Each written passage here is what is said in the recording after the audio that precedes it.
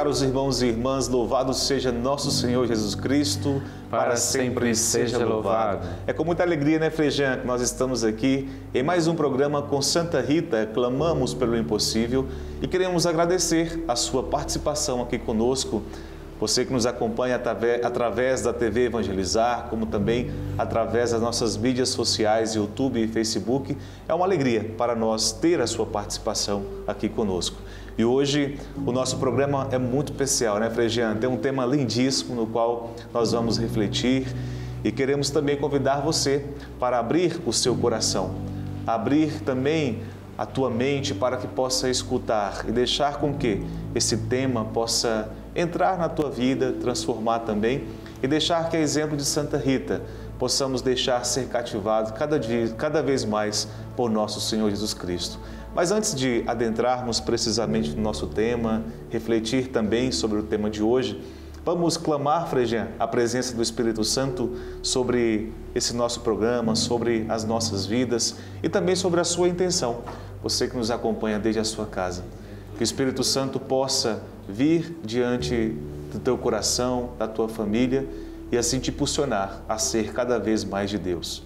Vamos clamar então o Espírito Santo de Deus, que ele venha sobre nós, que ele chegue até o seu lar, que faça morada no nosso coração e possa assim transformar a nossa vida, nos dando cada dia mais a força que vem do alto. Vamos rezar juntos, pedindo o Espírito Santo de Deus. Vinde, Espírito Santo, enchei os corações dos vossos fiéis e acendei neles o fogo do vosso amor. Enviai o vosso Espírito, e tudo será criado, e renovareis a face da terra. Oremos, ó Deus que instruístes os corações dos vossos fiéis, com a luz do Espírito Santo, fazei que apreciemos retamente todas as coisas, segundo o mesmo Espírito, e gozemos sempre de Sua consolação. Por Cristo, Senhor nosso. Amém. E nessa alegria do Espírito Santo presente aqui no nosso meio, presente também na sua casa, no seu coração, te impulsionando a confiar também na intercessão de Santa Rita. Ela, que é advogada das causas impossíveis, estar aqui junto de nós, para assim podermos confiar as nossas intenções no seu coração e assim ela levará ao coração de Jesus. Por isso, hoje o tema muito bonito no qual nós comentamos, né, Fregian, aqui é Santa Rita, exemplo de alívio dos sofredores. Santa Rita de Cássia, ela é essa mulher que nos ajuda a termos alívio nos nossos sofrimentos. Por que Santa Rita de Cássia é considerada santa das causas impossíveis?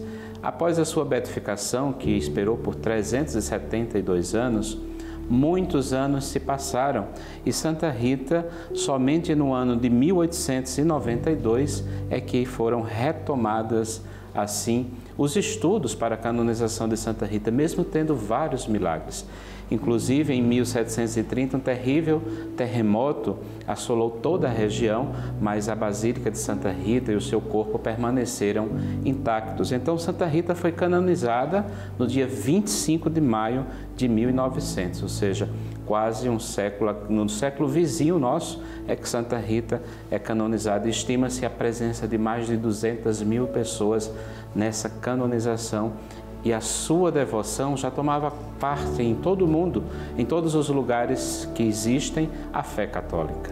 Muito bem, Fregia, mais uma curiosidade né, sobre Santa Rita, sobre a história dessa santa, uma mulher que foi capaz de entregar-se inteiramente a Deus.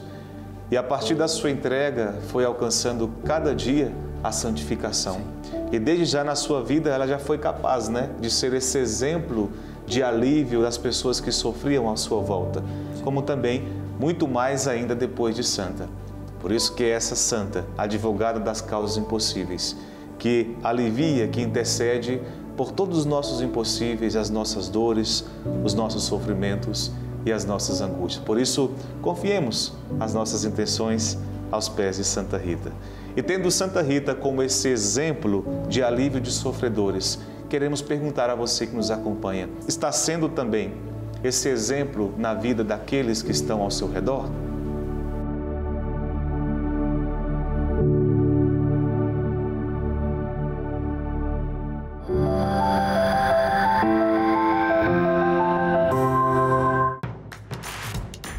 Não perca mais nenhum vídeo da TV Evangelizar. Inscreva-se agora!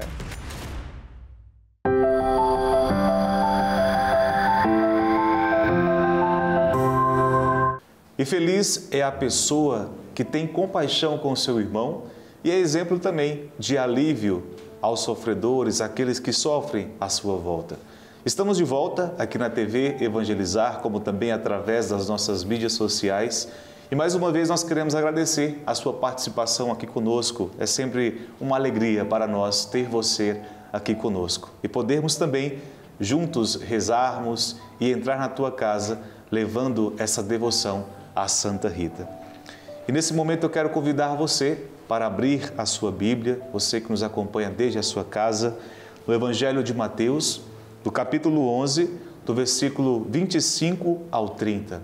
Mateus, capítulo 11, do versículo 25 ao 30.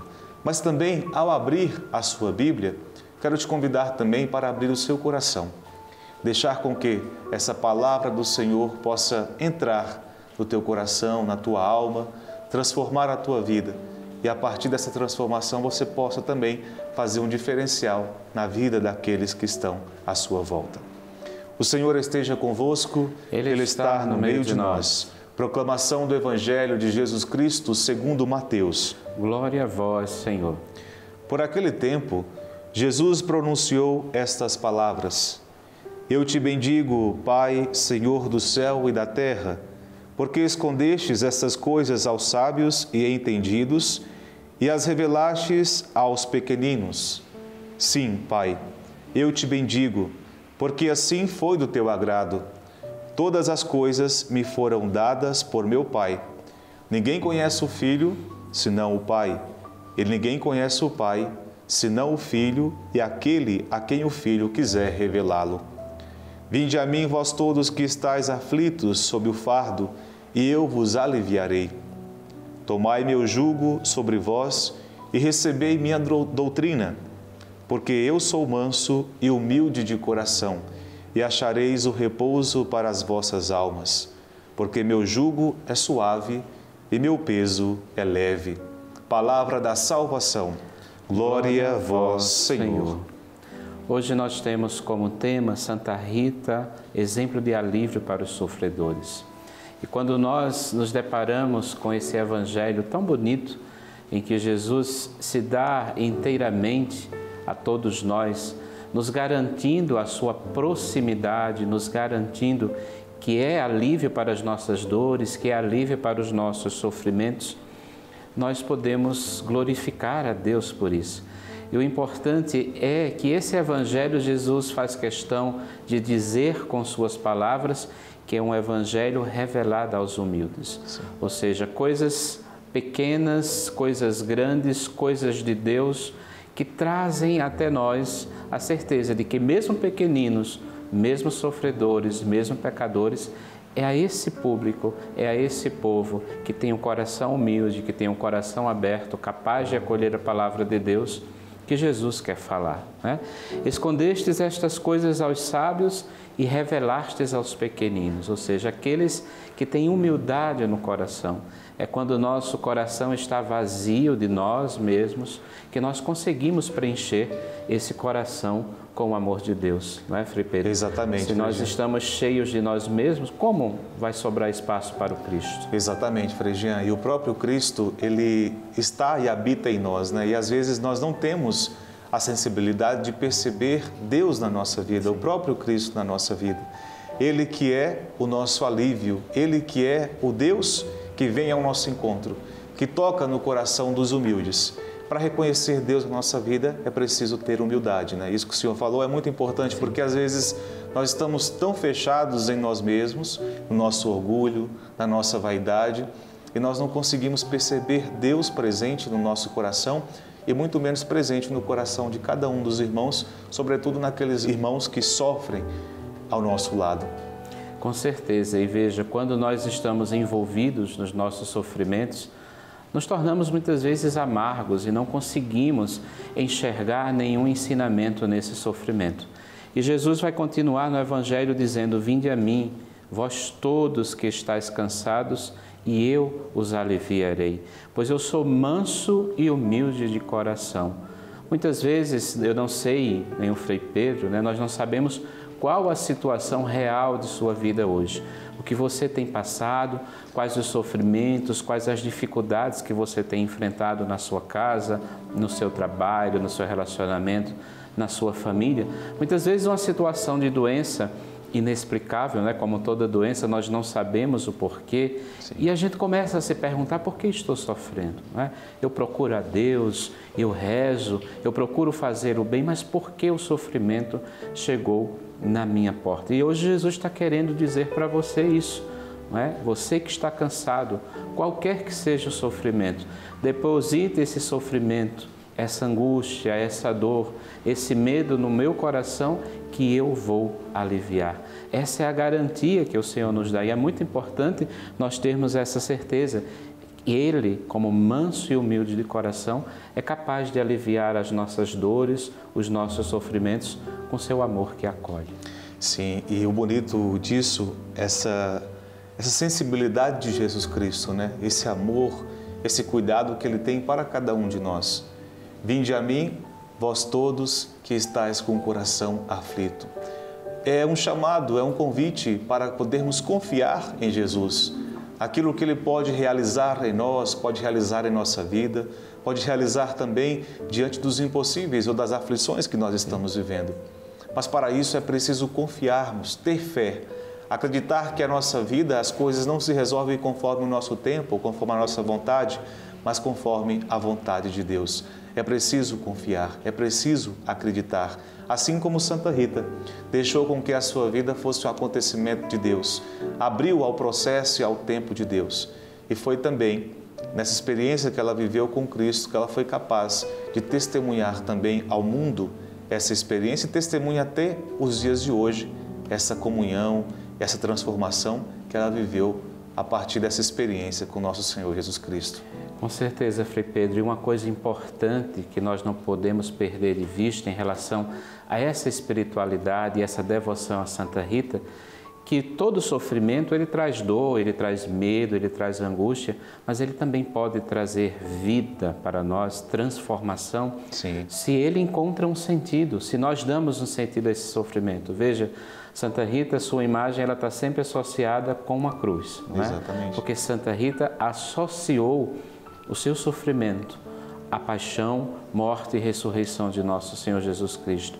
Colocou as suas dores, todos os seus sofrimentos na cruz de Cristo, pois ele já carregou sobre si as nossas dores, as nossas enfermidades.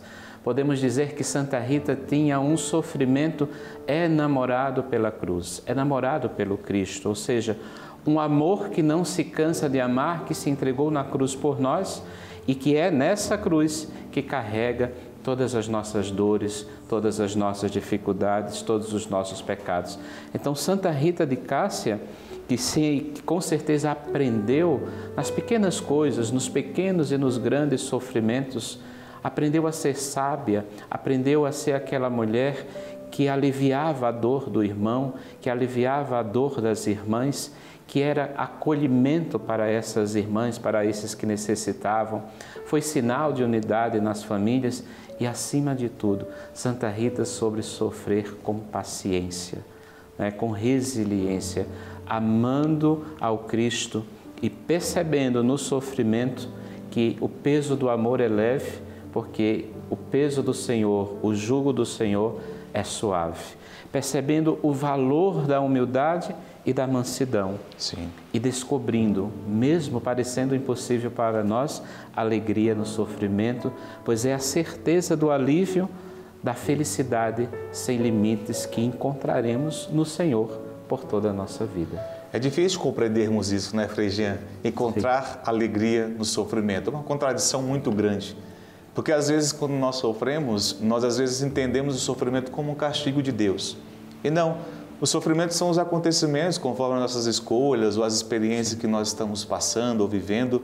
Enfim, são coisas que acontecem na nossa vida não porque Deus quer, mas porque sim, Deus permite né, que aconteça.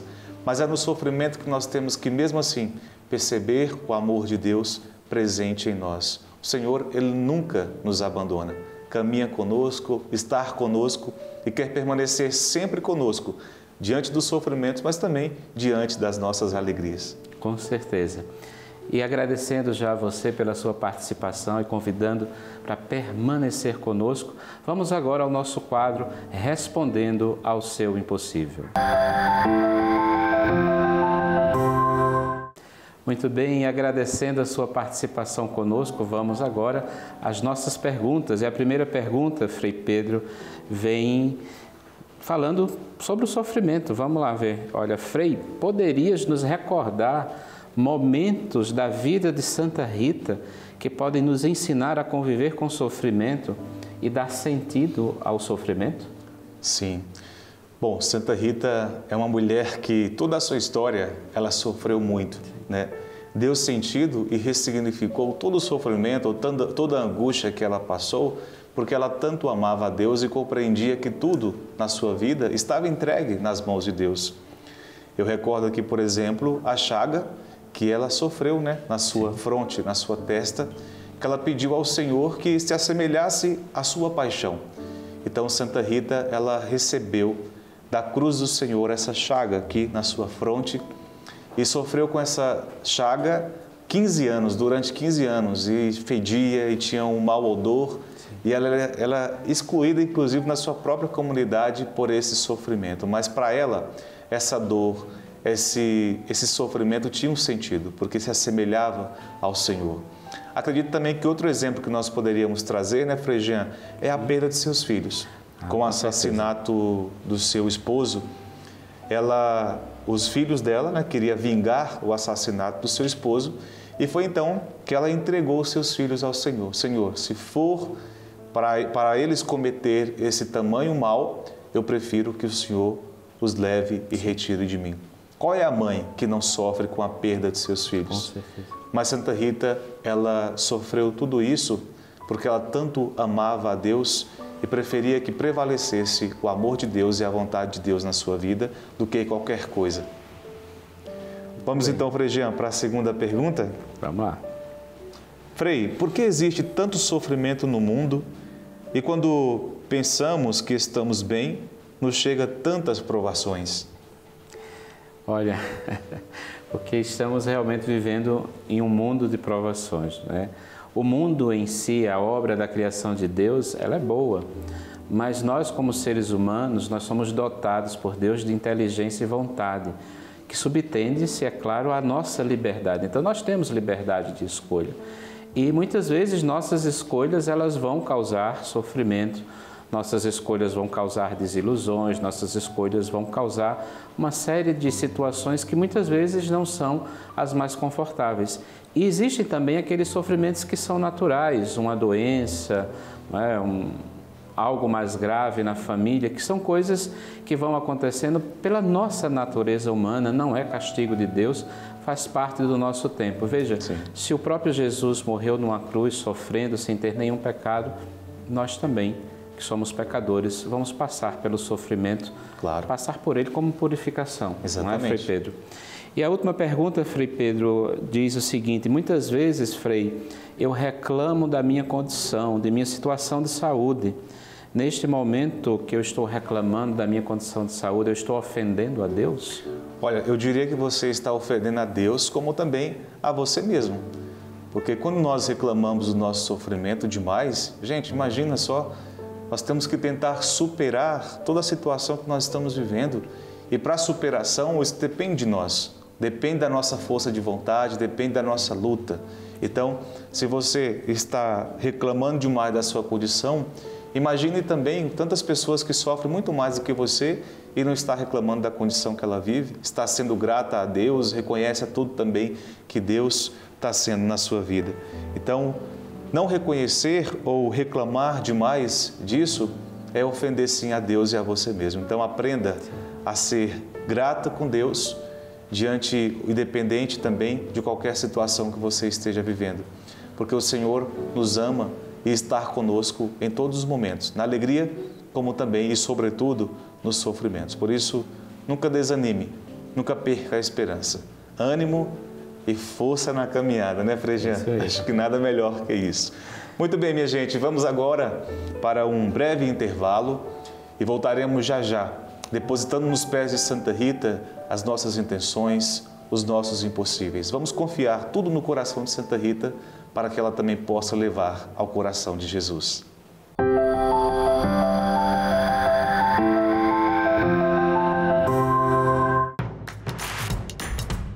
Perca mais nenhum vídeo da TV Evangelizar. Inscreva-se agora.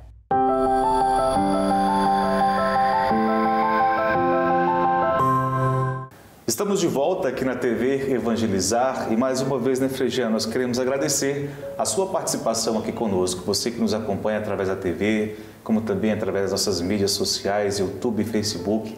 Que alegria estarmos aqui reunidos nesse programa com Santa Rita, clamamos pelo impossível. E nesse momento, vamos depositar nos pés de Santa Rita todas as nossas intenções com a oração da coroa.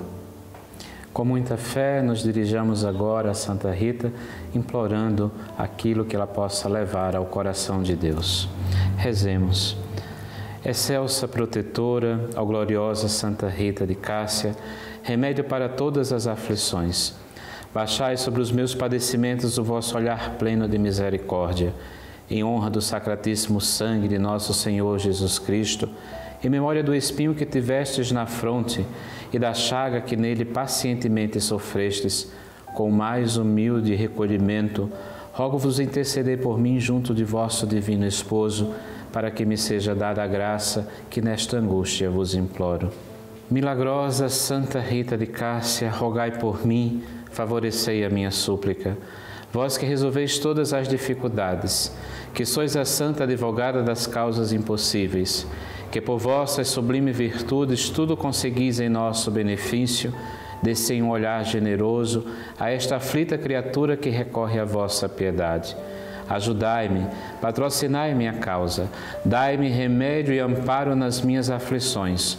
Socorrei-me e defendei-me todos os perigos da alma e do corpo. Amém. Amém. E agora vamos rezar as 22 contas perpassando por toda a vida de Santa Rita.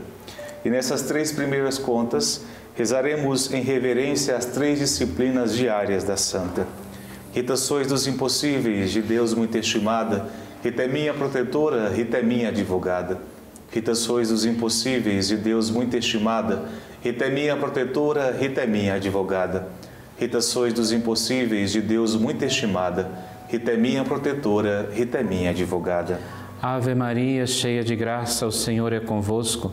Bendita sois vós entre as mulheres, e bendito é o fruto do vosso ventre, Jesus.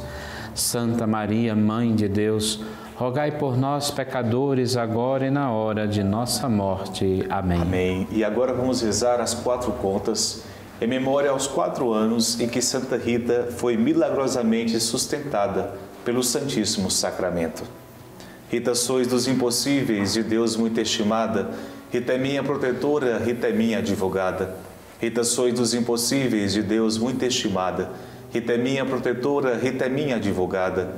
Rita, sois dos impossíveis, de Deus muito estimada. Rita é minha protetora, Rita é minha advogada. Rita, sois dos impossíveis, de Deus muito estimada. Rita é minha protetora, Rita é minha advogada. Ave Maria, cheia de graça, o Senhor é convosco. Bendita sois vós entre as mulheres, e bendito é o fruto do vosso ventre, Jesus. Santa Maria, Mãe de Deus, rogai por nós, pecadores, agora e na hora de nossa morte. Amém. Neste momento, rezaremos as 15 contas, lembrando os 15 anos em que Santa Rita sofreu com o espinho na sua fronte. Rita, sois dos impossíveis, de Deus muito estimada. Rita é minha protetora, Rita é minha advogada. Rita, sois dos impossíveis, de Deus muito estimada. Rita é minha protetora, Rita é minha advogada. Rita, sois dos impossíveis, de Deus muito estimada. Rita é minha protetora, Rita é minha advogada. Rita, sois dos impossíveis, de Deus muito estimada. Rita é minha protetora, Rita é minha advogada. Rita, sois dos impossíveis, de Deus muito estimada. Rita é minha protetora, Rita é minha advogada. Ave Maria, cheia de graça, o Senhor é convosco. Bendita sois vós entre as mulheres, e bendito é o fruto do vosso ventre, Jesus. Santa Maria, Mãe de Deus, rogai por nós, pecadores, agora e na hora de nossa morte. Amém. Rita, sois dos impossíveis de Deus muito estimada. Rita é minha protetora, Rita é minha advogada. Rita, sois dos impossíveis de Deus muito estimada. Rita é minha protetora, Rita é minha advogada. Rita, sois dos impossíveis de Deus muito estimada. Rita é minha protetora, Rita é minha advogada. Rita, sois dos impossíveis de Deus muito estimada. Rita é minha protetora, Rita é minha advogada. Rita, sois dos impossíveis de Deus muito estimada. Rita é minha protetora, Rita é minha advogada. Ave Maria, cheia de graça, o Senhor é convosco. Bendita sois vós entre as mulheres e bendito é o fruto do vosso ventre, Jesus. Santa Maria, Mãe de Deus, rogai por nós, pecadores, agora e na hora de nossa morte. Amém. Rita, sois dos impossíveis de Deus muito estimada. Rita é minha protetora, Rita é minha advogada. Rita, sois dos impossíveis de Deus muito estimada. Rita é minha protetora, Rita é minha advogada. Rita, sois dos impossíveis de Deus muito estimada. Rita é minha protetora, Rita é minha advogada. Rita, sois dos impossíveis de Deus muito estimada. Rita é minha protetora, Rita é minha advogada. Rita, sois dos impossíveis de Deus muito estimada. Rita é minha protetora, Rita é minha advogada. Ave Maria, cheia de graça, o Senhor é convosco. Bendita sois vós entre as mulheres, e bendito é o fruto do vosso ventre, Jesus. Santa Maria, Mãe de Deus, rogai por nós, pecadores, agora e na hora de nossa morte. Amém. Amém.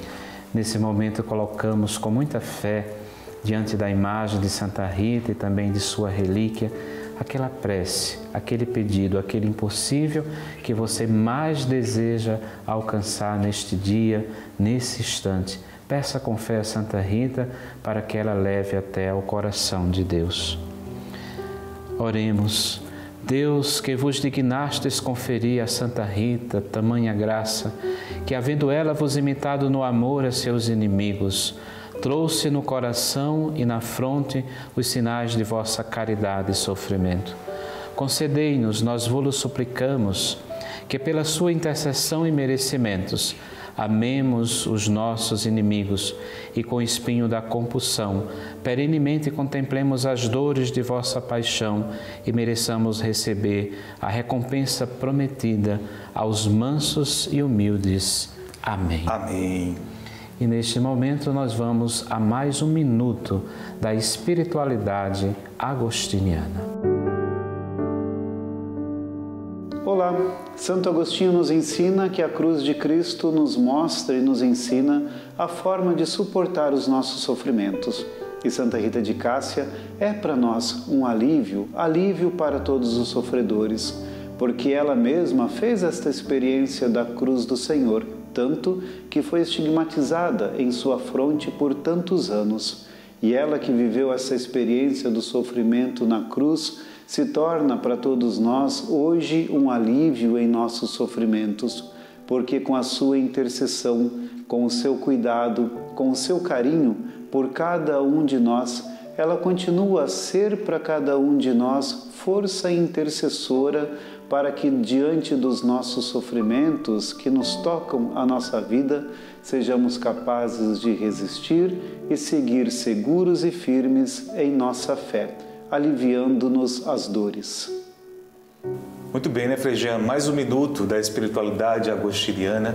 Espiritualidade esta que Santa Rita bebeu, experimentou na sua vida, buscou se assemelhar a Jesus através e dentro dessa espiritualidade, dentro desse carisma agostiniano e que é um exemplo para todos nós, né, Frei Jean? Com certeza. Santa Rita nos ensina aquilo que ela aprendeu também com a espiritualidade de Santo Agostinho e com a palavra de Deus. Então, nós só temos a agradecer a você que nos acompanha todas as quartas-feiras neste programa. Com Santa Rita clamamos pelo nosso impossível, pois é com ela que nós podemos também chegarmos ao coração de Deus. Muito bem, minha gente, nós queremos agradecer a sua participação aqui conosco. É muito importante a sua participação e juntos também podemos confiar na intercessão de Santa Rita. Estamos aqui diante da imagem de Santa Rita, mas também da relíquia. E vamos pedir a bênção de Deus sobre as nossas vidas, mas depositar aqui diante da imagem da relíquia de Santa Rita todas as nossas intenções, né, Frei Jean?